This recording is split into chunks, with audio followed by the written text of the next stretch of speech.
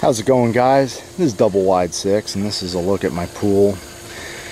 I've been taking care of my pool uh, on my own. So it's been a trouble-free pool.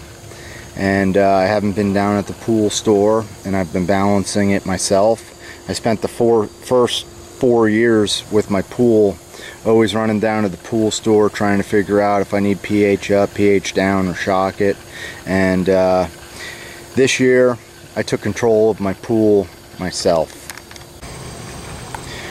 So if you want to take care of your pool yourself, the first thing that you're going to need is a good test kit. This one here is a Taylor K-2006 complete FAS DPD chlorine test kit.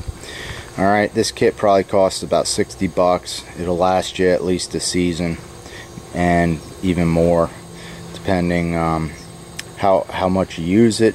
And also you can always buy the new reactants. You don't have to buy a whole kit. So if you run out of one reactant you can get it by mail.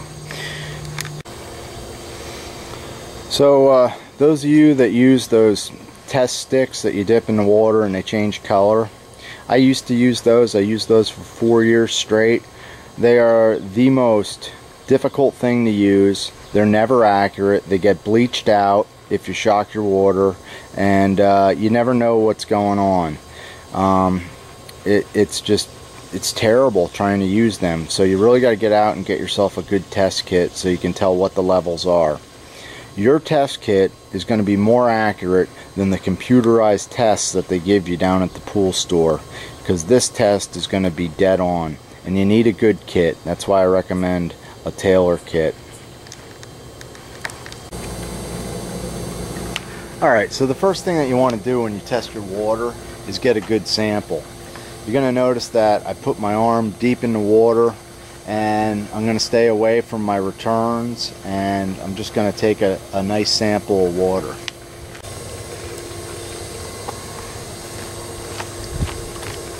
So what you want to do is you want to take your bottle and flip it upside down and form an airlock dip the bottle all the way down in the pool as deep as you can go and then let the bubbles out by tilting the bottle.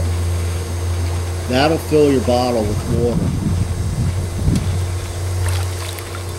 Once it's filled, you have a good sample. And you want to wait usually at least after the skimmer's been running for I'd say at least 45 minutes so that the water's all mixed up and you get a true sample.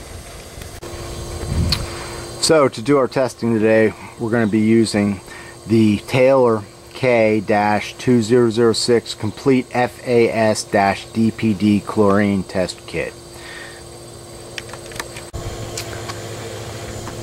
Next test we're going to do here is for calcium hardness. So I'm going to take the sample and get rid of it.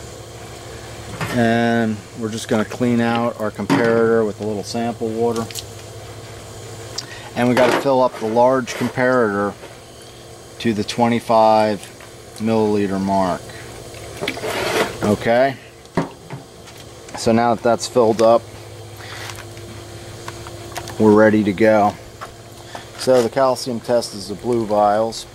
You're going to start out here with reactant number 10 and in order to do this test uh, you need to add 20 drops of number 10 1, 2, 3, 4, 5, 6, 7, 8, 9, 10, 11, 12, 13, 14, 15, 16, 17, 18, 19, 20.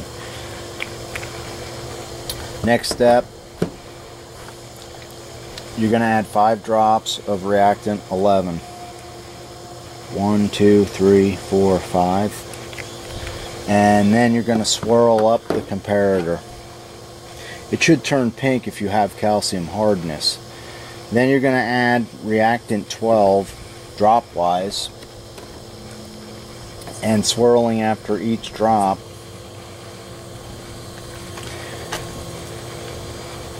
And you want to go until it changes from red to blue. So one drop, swirl it. Two, swirl it three, four,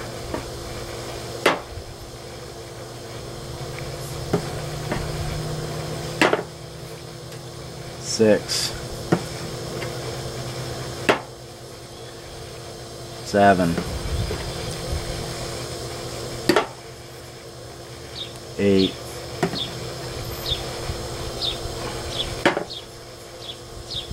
Nine,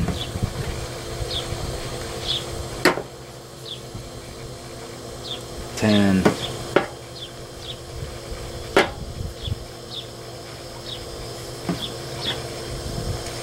eleven,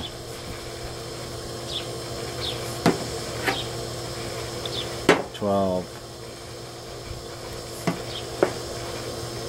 thirteen. Still at 13, just turned blue. So it took uh, 13 drops to turn our sample blue.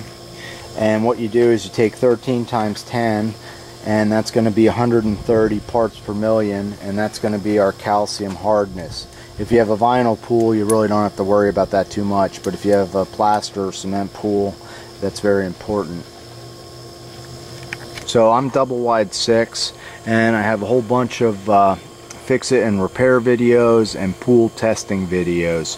So please check it out and I appreciate you watching and feel free to post your questions. Have a great day.